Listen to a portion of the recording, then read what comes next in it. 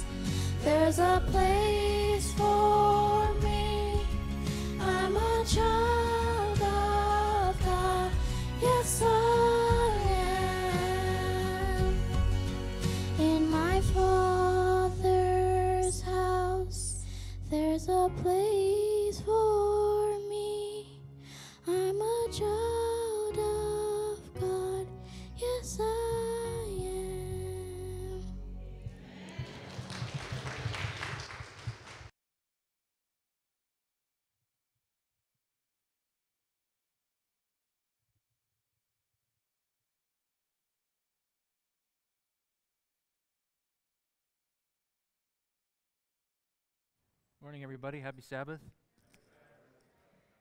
Let's have a word of prayer.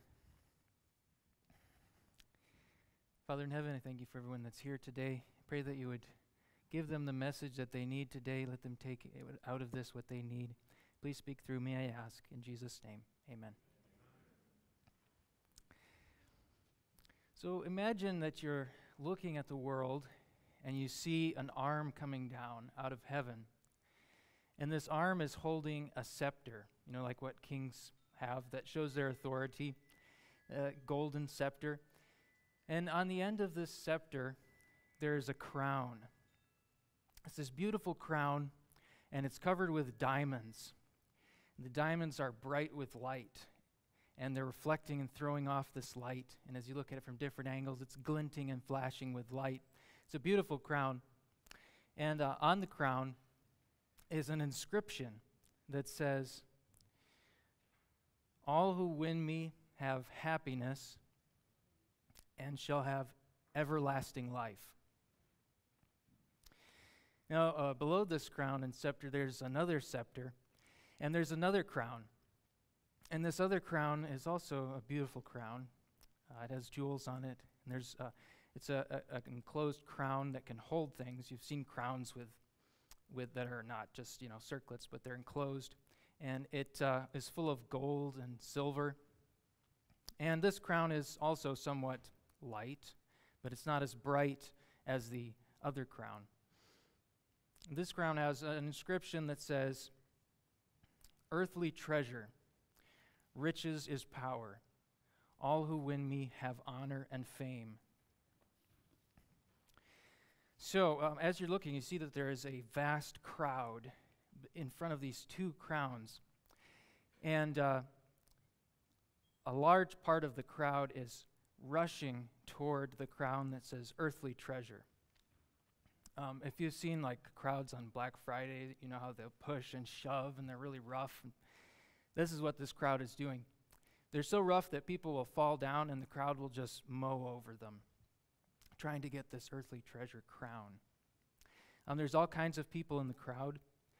Uh, some people are old and they have white hair and there are lines on their faces of, of anxiety and worry from uh, uh, their long lives. And uh, then they get to the, some reach the crown, they get to the crown and they're taking hold of the gold and silver. Even though they're old, they're grasping at it like they have to have it. And they have, uh, you know, relatives in the crowd who are looking at them with pleading looks on their faces, like, please, we need your help. But they won't give them help. They're holding as tight as they can to whatever they've been able to get.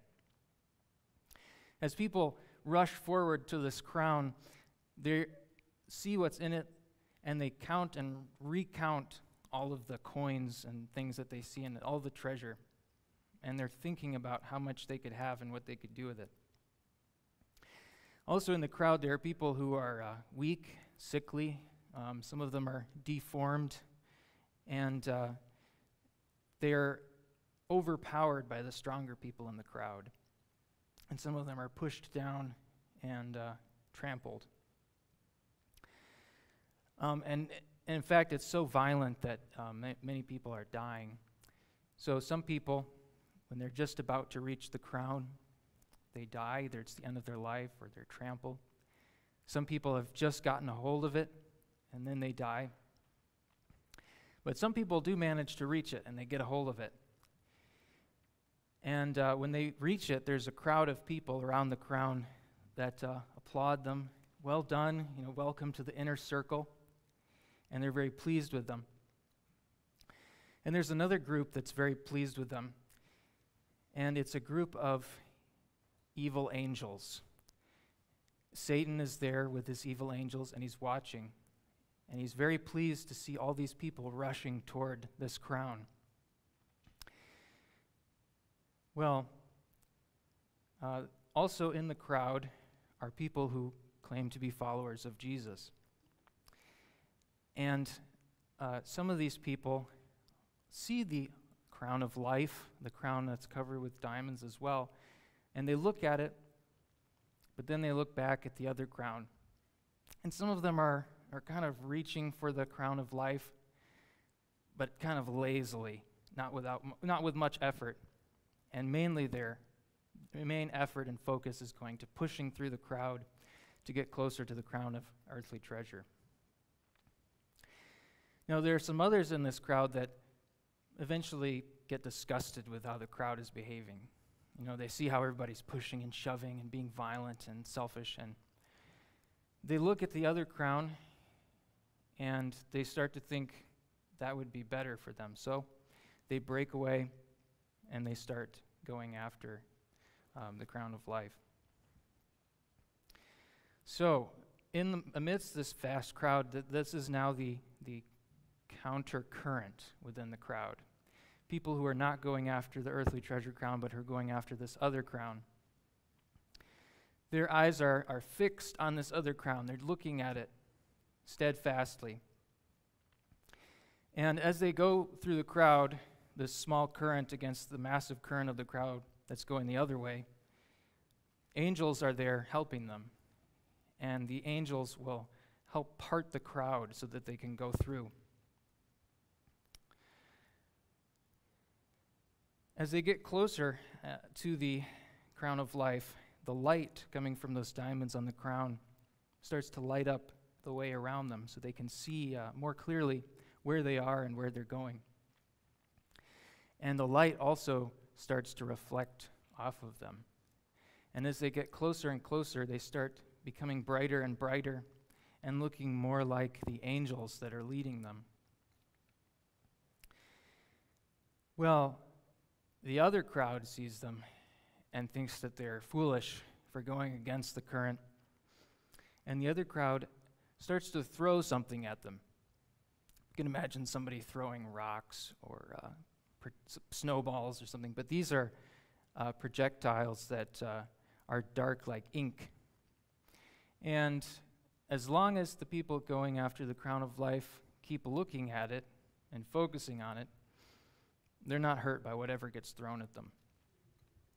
But as soon as they start focusing on what gets thrown at them, they get stained at it, almost like they've been hit with a blob of ink. Now, as you're looking at this scene, um, at this point you see uh, a scripture. And the scripture is, uh, you can, if you'd like, open your Bibles and, and read it along. It's Matthew 6, verses 19 through 24. Matthew 6, 19 through 24. It says, Lay not up for yourselves treasures upon earth, where moth and rust corrupt, and where thieves break through and steal. But lay up for yourselves treasures in heaven, where neither moth nor rust corrupt, and where thieves do not break through nor steal. For where your treasure is, there will your heart be also. The light of the body is the eye. If your eye is single, your whole body will be full of light. But if your eye is evil, your whole body will be full of darkness. If the light that is in you is darkness, how great is that darkness? No one can serve two masters, for either they will hate the one and love the other, or else they will hold to the one and despise the other. You cannot serve God and money. Okay, so what does this scene mean? Well, the first crowd, the big crowd chasing the lower crown, that is those who love the attractions of the world, the treasures of the world. So uh, we saw many types of people in this crowd. You know, they're the professed Christians. They're part of the crowd. They say that they are uh, looking for God, but really their main aim in life is to get earthly treasure of whatever kind they're interested in. And as long as that's where their eyes are fixed, they can't love Jesus. They love what they're focused on. And as they uh, move closer and closer to it, the light that they have becomes darkness till eventually it goes out and they're left stumbling and fumbling in the dark. This is what happened to, um, as we call him, the rich young ruler who came to Jesus. He asked Jesus, What must I do to be saved? He said, I've kept the commandments. And uh, Jesus got to the heart of it that what he loved and what he focused on most was his possessions. And so he went away sorrowful. The light that Jesus had given him he allowed to go out and become darkness. So, also in this crowd is the old, the elderly, people who are coming toward the end of their life. And um, as we were seeing, it, you know, at this time when they might be thinking more of God and heavenly things, instead they're thinking more about what they've trained themselves to care about all through their lives. And so these people uh, come to the end of their life, but they're even more trying to grasp their idol than ever before. And they may have uh, family members who need their help, but they're not willing to sacrifice um, for, these, for these people. And then we also have the, the sickly in the crowd, and these, these are people who um, may not be in good health. Um, they may not have a good, good mental powers.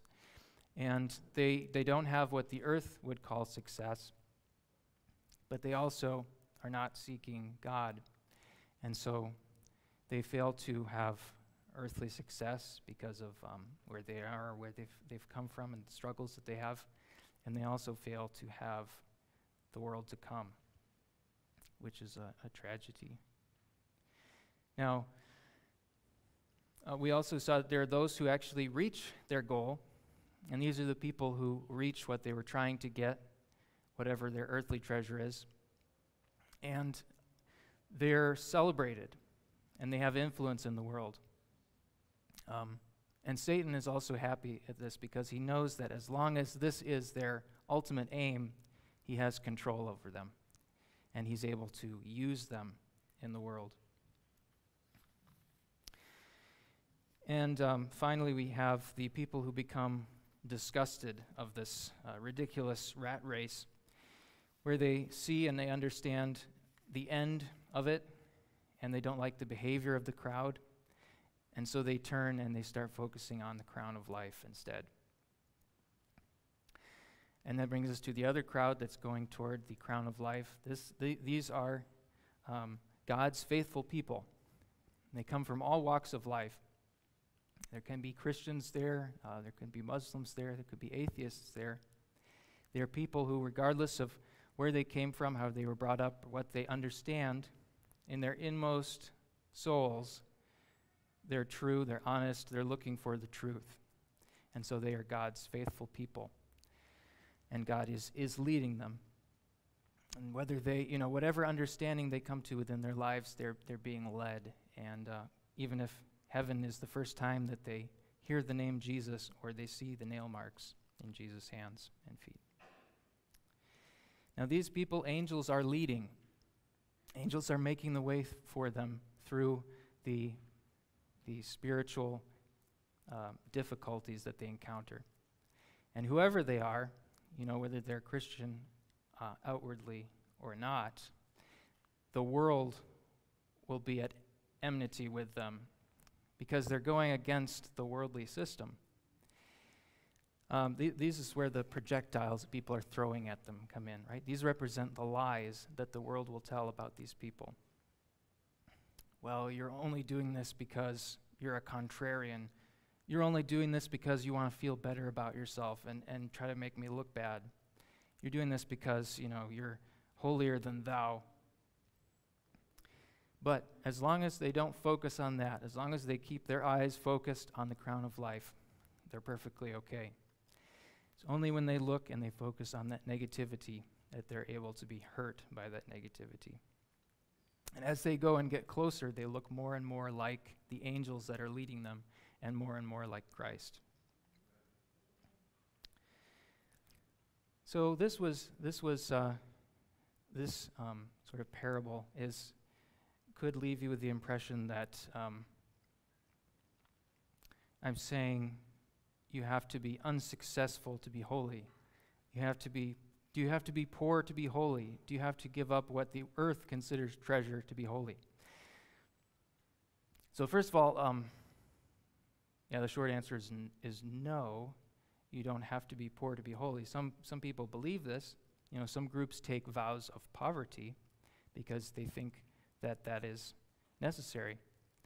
Um, but if you look in the Bible, you don't have to look very far to see that God's followers are not always necessarily impoverished.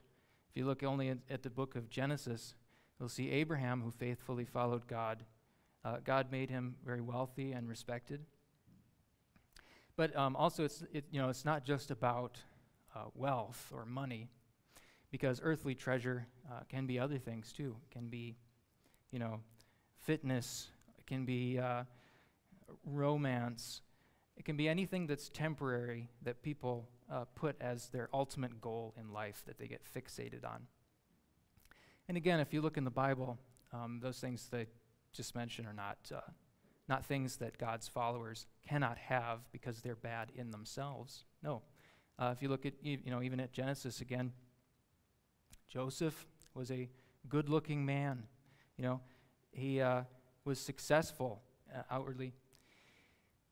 So if that's the case, you know, why, it, it- why, is, why is the parable about turning away from earthly treasure? You know, what's wrong with seeking it? Um, well, i it's about, I would say, well, let me, let me put it this way. So imagine that there's a uh, very successful man who's out uh, strolling along in the park, and he meets a woman in the park, and he's very wealthy, but she's not. But they don't know that about each other. They just get to talking, and they find out that they have a lot in common. And um, they start to see each other more regularly. Eventually, they fall in love. Eventually, they decide to get married. Imagine that uh, you know this man has many houses, a penthouse, and and so on. But it comes out that this woman is homeless and she doesn't even have a place to live at all. So now they get married. They have a wonderful, beautiful wedding ceremony. And at the end of the ceremony, she says, "Wow, that was so nice." Well, see ya. And he says, See ya, what do you mean? Uh, we're going together, right? No, actually, I'm going back to the overpass where I live. She says, No, you come with me. You know, we could go to my penthouse. We'll go to the villa that I have in the south of France, you know, wherever you want to go. And she says, No, because, you know, I can't leave my highway overpass. Sounds ridiculous, but that's how, that's how we are with God sometimes. When Jesus asked the, as we call him, rich young ruler, to sell all that he had, he was asking him to put God first in his life. And God wants that type of relationship with us, like a husband and wife have. If you, if you look in Hosea, Hosea chapter 2, um, God says, It will be in that day you will call me husband and not master. And in a, uh, in a marital relationship, you share everything with each other. Uh, Steps to Christ says, What do we give up when we give all? A sin polluted heart for Jesus to purify, to cleanse by his own blood, and to save by his matchless love. And yet people think it hard to give up all. I'm ashamed to hear it spoken of, ashamed to write it. God does not require us to give up anything that it is for our best interest to retain. So when when this rich young ruler was being asked to give up all, and when we are asked to give up all, God is going to give us everything in replacement. It says in Luke chapter 18 Most certainly I tell you, there is no one who has left house or wife or brothers or parents or children for God's kingdom's sake who will not receive many more times in this time and in the world to come eternal life. So, God is the owner of everything. As it, as it says in Psalms, the world is mine, God says, everything that's in it. So the question, the question isn't, you know, if I give up all, how much is God going to give me in return? Because He's going to give you everything in return. The question um, you maybe should ask instead is, how much should I have here and now? How much can I handle here and now? And uh, only God knows the answer to that. You don't know. The, I don't know the answer to that. You don't know the answer to that. Um, God alone knows how much you can handle that you would be able to uh, not be corrupted by, but still be able to um, inherit the eternal kingdom that's coming. And uh, you know, if you think about it in, in, terms of wealth, you think about all the all the wealthy people who are who are corrupt, and uh, and it gives them a, a, way to live out that corruption and instead of to change. Um, you know, if you if God gave you the uh, immense wealth, you could be the next uh, Jeffrey Epstein. Um, you don't know, we don't know. You know, somebody who uses that to do evil. And God knows, and He's able, if you put your trust in God, He's able to give you um, the right amount that's good for you. Uh, it says in um, Proverbs chapter 30 Give me neither poverty nor riches. Feed me with the food that is needful for me, lest I be full and deny you and say, Who is the Lord? Or lest I be poor and steal and so dishonor the name of my God. And God while He gives you everything, He alone is the one who knows what food is needful for you. So the the uh, the earthly crown, you know, it's it's still attractive to us, whether it's it's money or the other things that we've mentioned, uh, the fame and the honor, and, and it's attractive because you know, again, in in themselves, these things are not bad things, but they're bad things by themselves as ends in themselves, uh, because they don't require love. Uh, they're like they're like pieces of who God is. Uh, fame is, you know is a piece, but it's not the entire circle or the entire picture. And if you pursue one of them by itself, uh, it's unhealthy. You know, if you think about fame, if fame is where your eyes are fixed, you don't have to be loving uh, to be famous. You know, Adolf Hitler is famous. It's a famous name, but he was a terrible person. And um, if we seek these things that are parts of who God is, it, ca- it leads to, to spiritual deformity.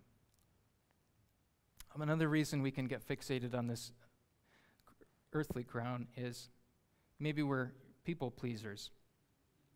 Uh, you know, again, this is something that's not unhealthy in itself. We should want to live peaceably, as peaceably as we can with all people. We shouldn't want to make uh, people unhappy. But when we make that the end and the goal, uh, it's a problem because we have sinful natures, and people can be made happy by things that are not necessarily good for them or good for you temporarily. And so uh, uh, we have to think, we have to keep it in perspective. Um, I like what uh, Marcus Aurelius wrote. He was a, a, Roman emperor who was considered one of the good emperors of Rome. Uh, he was a, a, philosopher and, and he was a um, peaceful ruler. He, he wrote uh, to, you know, to remind himself, ponder the fickleness of those who are applauding you. And it's the idea that uh, you shouldn't care that much whether you're getting praised or scorned because people are fickle. And today they may be uh, cheering you on, and then tomorrow they may be trying to get you fired from your job. Uh, we see this right today with cancel culture that very suddenly and very swiftly people can turn on you, and uh, now you don't have a place to work anymore and you're cut off. And that's today. And we believe that uh, someday, as it says in the book of Revelation, we'll see cancel culture in its final form. People will be uh, prevented from buying and selling if they don't go along with the mainstream culture.